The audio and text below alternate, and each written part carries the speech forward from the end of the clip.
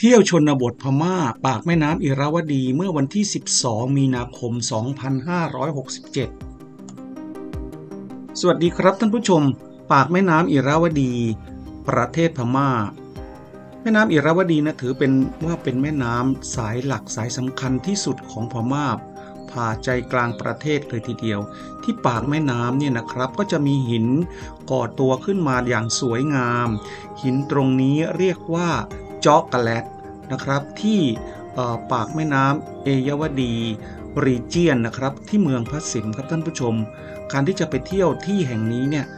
ไปค่อนข้างยาก เพราะว่าบริเวณปากแม่น้ำเอราวดีนะมีสภาพเป็นเกาะแก่งมากมาย เพราะฉะนั้นการเดินทางจะต้องขึ้นรถลงเรือนะครับ เมืองเล็กๆ ที่อยู่นั่นก็คือเมืองลาบุต้านะครับ บริเวณปากแม่น้ำเอราวดีนั่นเรียกว่า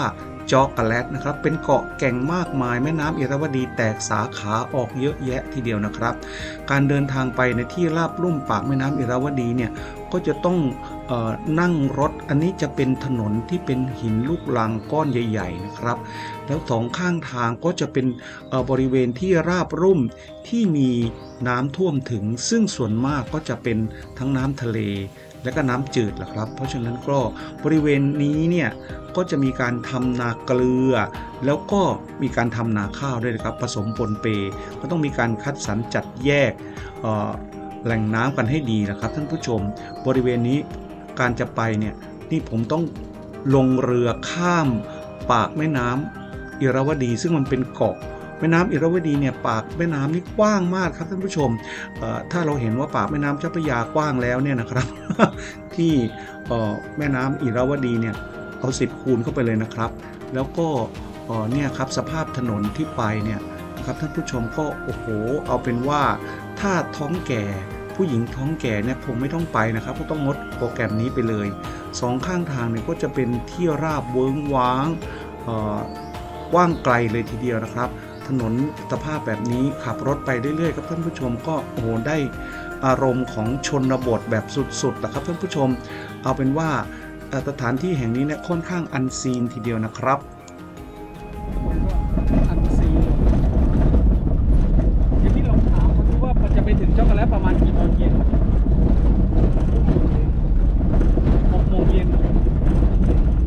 เราออกเดินทางจากย่างกุ้งกันตั้งแต่เช้า นี่ถามคนขับรถว่าอีกนานไหมกว่าจะถึงเขามองอนาฬิกาแล้วก็บอกว่าอีกนานครับ เราจะต้องข้ามสะพานไม้เก่าๆเนี่ยนะครับ ไปตลอดทางเลยทีเดียว เป็นคลองเล็กคลองน้อย ป่าโพงกลาง เอาเป็นว่าท่านผู้ชมเนี่ยสภาพสะพานนะครับก็สมัยสงครามโลกเลยทีเดียวผมว่านะอันนี้เดาเอาเอง สร้างขึ้นมาเมื่อไหร่ไม่ทราบได้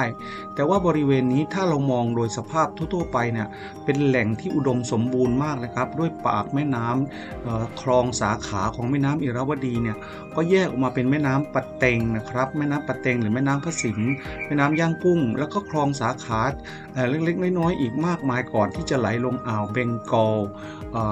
อ่าวเบงกอลมหาสมุทรอินเดียนะครับ นี่ครับเขากำลังซ่อมสะพานกันอยู่ ก็ขับรถกันไปเรื่อยๆ โดยจุดหมายปลายทางก็อยู่ที่หินจอกกระแลนะครับ ซึ่งมันเป็นหินที่ก่อตัวขึ้นมาจากการกัดเซาะของลมแล้วก็น้ำทะเลใช้เวลาเป็นพันปี จะได้หินที่มีรูปร่างสวยงามแปลกตาครับท่านผู้ชมเนี่ยการที่จะไปเนี่ยด้านด้นไป เพราะฉะนั้นเนี่ยโอกาสที่ คนจะไปเนี่ยนะครับก็ยากมากแต่ว่าได้ไปเห็นสิ่งก่อสร้างทางธรรมชาติที่ธรรมชาติสร้างขึ้นอย่างสวยงามตระการตาเลยทีเดียวครับ เอาเป็นว่ามันก็ต้องอดทนละครับตะวันเริ่มบ่ายคล้อยจะรับขอบฟ้าอยู่แล้วครับท่านผู้ชมเรายังไม่มีทีท่าว่าจะถึงจุดหมายปลายทางดูจาก Google Map ก็เหลือระยะทางอีกไม่ไกล แต่ว่าถนนที่จะไปเนี่ยสภาพมันเป็นแบบนี้ครับวิ่งเร็วก็ไม่ได้ แต่ว่าเราก็มองธรรมชาติสองข้างทางเพลินตาเพลินใจไปละครับ แต่ใครจะไปคาดคิดว่าในชนบทที่ห่างไกลแถบนี้ นอกจากจะมีนาเกลือ มีนาข้าว มีบ้านน้อยๆหลังเนี่ยนะครับ จะมีร้านค้าอยู่ร้านหนึ่ง ถามไทยเขาบอกว่าเพิ่งเปิดวันนี้วันแรก แล้วก็ น่าจะได้ผมนี่แหละเป็นลูกค้าต่างชาติวันแรกล่ะครับ เอาเป็นว่านี่นาเกลือครับทางด้านซ้ายมือ เอาเป็นว่าก็เราก็เหนื่อยล้าจอดแวะร้านแตงโมสักหน่อยล่ะครับกลางทุ่งนาแบบนี้ท่านผู้ชมก็มีร้านขายแตงโม ก็เลยคิดว่า โอ้อุดหนุนแตงโมเขาหน่อยแล้วก็เนี่ยโอ้ซื้อกินเลยเควินอ่าถามเขาสิลูกเท่าไหร่ 啊。对。爹地不能要了。爹地。啊，ลูกเท่าไหร่呀？我我เท่าไหร่呀？ดาริยันนะท่าอันนี้ลูกเท่าไหร่เนี่ย เท่านหร่เท่าไหร่หนึ่งพันสองร้อยจัดสิบสองบาท อะ เอาเลย ปอกหนึ่งลูกกินกันเลยเอาบอลไปแล้วเอาบอลนะท่าอันข้าวบอลเลยสองพันจัดอ๋อยี่สิบบาท อะ เอาลูกนี้ก็ได้ อะยี่สิบบาทเนี่ยอะผ่าเลย กินกันเลยเนี่ย ค่อยเ快点，快点，快点！啊，快เ，快点！打打打到边都来。พาเลยพาเลย กินตรงนี้อย่ายี่ละยี่ละมายี่เลยมายี่ละอะมาตาสิละแบบเอาเอามีดอันใหญ่นี่เหรอเอาพ่อหนุ่มผู้เป็นสามีก็ถือมีดออกมาละครับ แล้วก็เอาน้ำออกมาล้าง แล้วบอกว่าจะพากินเลยนะครับเนี่ยจะพากินเลยเออท่านผู้ชม ลองมองไปทางซ้ายและทางขวาสิครับ มันไม่มีบ้านเรือนผู้คนเลยเราแปลกใจไม่ได้ว่า มาเปิดร้านค้าตรงนี้เนี่ยจะซื้อขายกับใคร จะ ยังไงนะครับ คนที่มาซื้อเนี่ยจะต้องเดินทางมาด้วยความยากลำบาก เพราะมันไม่ได้ใช่ใชแหล่งชุมชนท่านผู้ชมอ่ามีรถขนส่งมาแล้วเนี่ยอันนี้ก็เป็นรถนะครับเนี่ยเขาก็บรรทุกกระบุงตะกร้าอะไรมา อันนี้ก็ผ่านไป มองไปทางซ้ายมองไปทางขวาอย่างที่ผู้ชมบอก ไม่มีบ้านผู้คนเลยเราก็แปลกใจไม่ได้เออร้านค้านี้ก็ขายอะไรบ้างขายหมากขายแตงโม ขายของกินเล็กๆน้อยๆก๊อบแก๊บก๊อบแก๊บมีของขายอยู่ไม่กี่ชิ้นแหละครับท่านผู้ชม แต่ก็อดความชื่นชมในมองลงไปเพื่อ นักทุกคนก็ต้องดิ้นรนทำมาหากินละครับแตงโมลูกโตพันไต้หวันเนี่ยนะครับ ก็ราคาไม่แพงครับเอ่อแดงดีรสชาติก็หวานกรอบเลยดีทีเดียวนะครับ ท่านผู้ชม แต่ว่าเรากินกันสามคนเนี่ยลูกโตขนาดนี้กินกันไม่หมดหรอกครับกำลังจะคิดว่าเออเดี๋ยวเราก็แบ่งให้เจ้าของนี่แหละเขาก็กินไปบ้างนะครับ เพราะว่าเออเราก็กินกันไม่เยอะหรอกครับ ท่านผู้ชม แต่ว่าท่านผู้ชมเออสักพักหนึ่งนะครับ ก็มีแม่ลูกเดินผ่านมาพอดีนะครับ ก็เลยเรียกให้เขากินแตงโมด้วยนะครับ โอเค เอาเลยคนละชิ้น Doe maar zouden. Samen wel. อืมเป็นไงเควินเป็นไงกูดนะ อืม อืหวาน อืม กินบ้างอวดท่านผู้ชมนี่ อืมหวานจริง ๆ อะ ลูกยี่สิบบาทเองอโยนไปข้างทางเนี่ยเป็นปุ๋ย อืมเอ้า เควินมาถ่ายหน่อยสิ นี่ อะ เนี่ยให้สุดหล่อนี่หน่อยอะหนูหนูอะได้เละได้กินเขยกว่เอากินกินกินสิเรื่องเลสิเรื่อเอาเลยเอาเลยนี่ตัองโอ้อร่อยจริง ๆ อะ นะ อร่อยด้วยรสชาติของแตงโม อร่อยด้วยความหิวโหย อร่อยด้วยความเหนื่อยล้าครับท่านผู้ชม แต่ก็หวานชื่นใจทีเดียว ทุ่งนานี่ก็มีแตงโมขายด้วยท่านผู้ชมอันนั้นนะปลาหมดเลยเนาะฮะ ผ่าหมดเลยเนี่ยมาอีกสองคนเนี่ยให้เขากินหมดเลย เร็วเเร็วอืม เพิ่มเพิ่มเลยมีสามหนุ่มสามแม่ลูกเนี่ยเดินมา กินแตงโมมาคัมอน พูดภาษาพม่าว่ากินแตงโมเรียกว่าอะไร ลาลาซาไมลาลาซาแม่มามามาลาลาซาแม่เพียดีเพียดีโน่ไป โนโนโนเพียดีซ่ามาละเรียรียเพียดีซาแหมเพลีซาแม่ ไปเพลีซาแมโนโนโนสามแม่ลูกนี่อุตส่าห์เดินมาแต่ไกลเพื่อจะมาซื้อหมากนะครับสองบาทสามบาทเองนะครับ ก็มีโอกาสเลยนะครับ ผมก็ได้โอกาสที่จะให้แตงโมกับเด็กน้อยนี่นะครับ ก็นี่นะหน้าตาน่ารักเลยทีเดียว ก็นะให้พี่ชายเขาเดินมาต้องถือไม้เท้ากันด้วยท่านผู้ชมเนี่ยแสดงว่าคนซื้อนี่ก็เหนื่อยล้าเดินมาไกลทีเดียวนะครับ เนี่ยกินให้หมด แตงโมลูกโตนี่ราคาคิดเป็นเงินไทยแค่ 20 บาทเองท่านผู้ชม พวกเรากินละสองคนละสองชิ้นก็พอแล้ว Ja, nee, la. Ja, เอาเลย เป็นยังไงบ้าง อร่อยไหมอร่อยไหมนี่ต้องภาษาพม่าว่าอะไรเทวิน อร่อยไหมนี่พม่าว่าไง ถามเด็ก La kaula, la. Chola. โชล่าโชล่าแปลว่าหวานไหมเหรอ โชล่า โชล่า โชล่า เออ นี่ถามที่เขาจะเดินไปไหนเนี่ย มาเบลเบลแล้วเช่ากันไอ้เดียนน่ะล่ะที่อยู่แล้วแต่อ๋อมาที่นี่อ๋อเขาจะมาซื้อแตงโม จะมาซื้อแตงโม เดินมาจากไหนอะเควินลองถามดิตาที่สิเราเวลาล่ะจะมาซื้ออะไรมาร์กเนี่ยมึงเราไย์อ๋อจะมาซื้อมาจะมาซื้อกี่บาทถามพี่เควิน จะมาซื้อกูเนี่ยเวลาล่ะมา เท่าไหร่จะมาซื้อ มันต้อเร็มาเน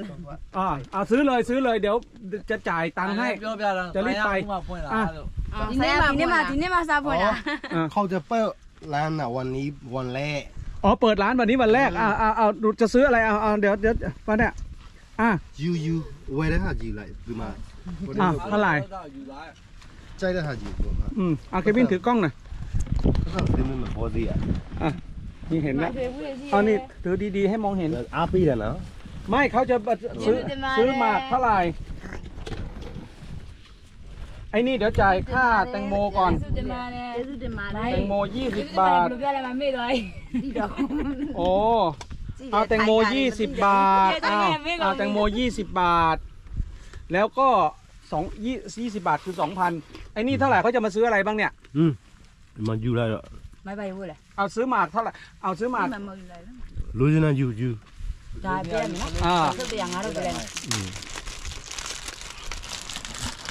เอาซื้อหมากเท่าไหร่ 커피 유유 먹어라 กาแฟ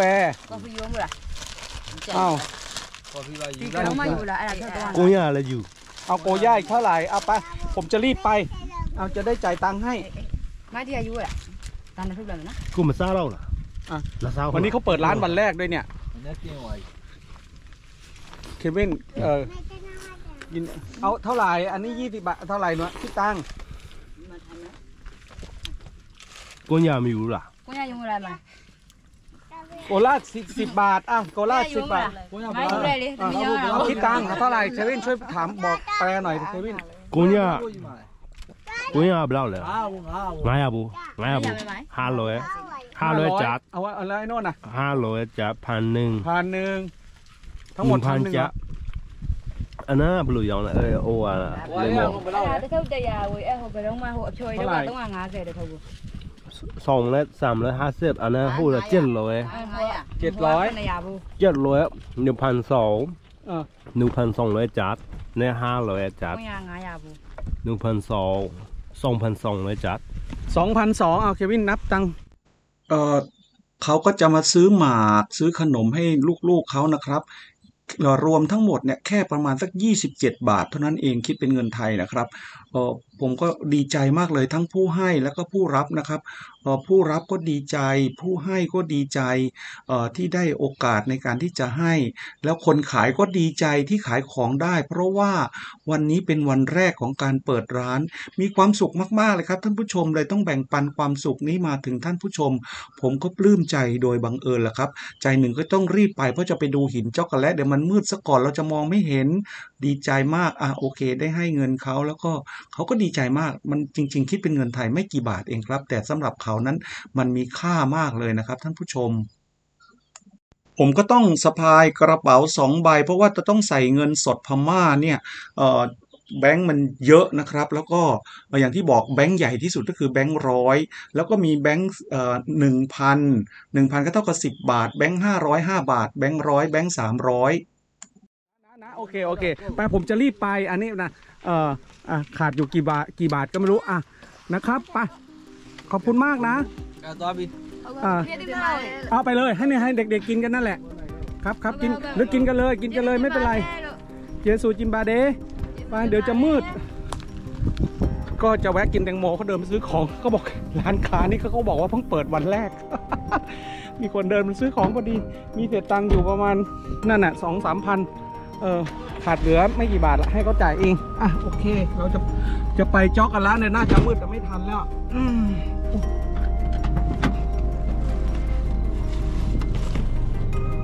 โอเคปะโอ้ครับ ก็ต้องรีบเดินทางไปชมหินช็อกโกแลตนะครับ เมื่อไปถึงหินช็อกโกแลตก็มืดพอดีครับท่านผู้ชม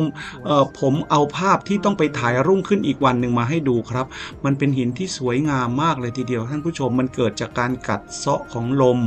แล้วก็น้ำทะเลนะครับ มันเป็นหน้าผาหินทรายที่กว้างไกลเกือบ 10 กิโลเมตรนะครับ เป็นแหลมที่ยื่นมาในทะเล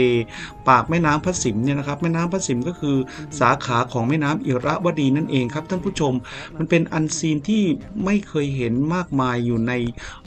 บริเวณนี้นะครับ บริเวณนี้ก็จะเรียกว่าเจาะกระแลเจาะกระแลนะครับ เรียกว่าเจาะกระแลนะครับ ก็สวยงามมากเลยทีเดียวท่านผู้ชม หินใหญ่ ๆ ที่เป็นหน้าผาเหล่านี้ เมื่อเกิดพายุนากรีสเนี่ยเมื่อหลายปิดสิบกว่าปีที่แล้วเนี่ยนะครับ ก็ได้พัดพังเอาหินพวกนี้พังไปมากพอสมควรนะครับ ผมก็นำคลิปเกร็ดย่อยมาให้ท่านผู้ชมได้ดูอีกครั้งหนึงครับ ผมประทับใจมากในการที่จะไปเที่ยวที่ปากแม่น้ำอิระวดีชมหินช็อกโกแลตแห่งนี้นะครับ ท่านผู้ชมครับ อย่าลืมอุดหนุนผมด้วยการกดไลค์กดแชร์แล้วก็คอมเมนต์มา แล้วก็อย่าลืมนะครับ สนับสนุนการเดินทางโดยเห็ดหลินจือแดงครับ สนับสนุนให้ผมได้มีโอกาสเดินทางต่อครับ สนับสนุนการเดินทางโดยเห็ดหลินจือแดงพันธุ์ G2 ปลูกโดยสวนเห็ดจันทบุรี สมุนไพรที่เอาไปต้มกินได้ครับ ใช้กันมาแต่โบรโบราณ แอดไลน์ 096 469 6359 096 469 6359 เห็ดหลินจือแดงอบแห้ง พันจีทู